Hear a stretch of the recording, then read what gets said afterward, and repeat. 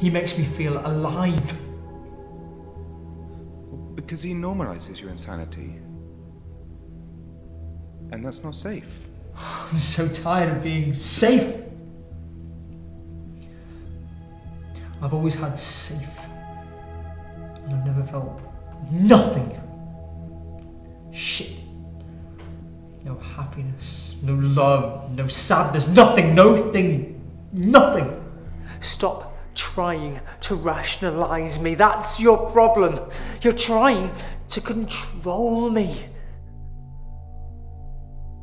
Don't try to tame me.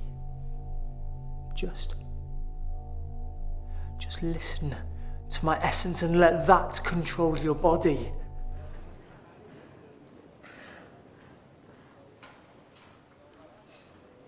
Should say the ugly ones need twice as much love as the big beautiful ones.